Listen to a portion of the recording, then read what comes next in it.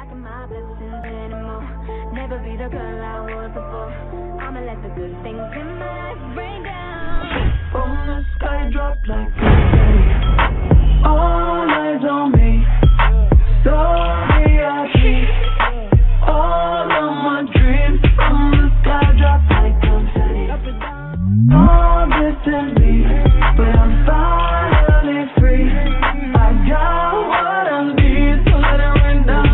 I got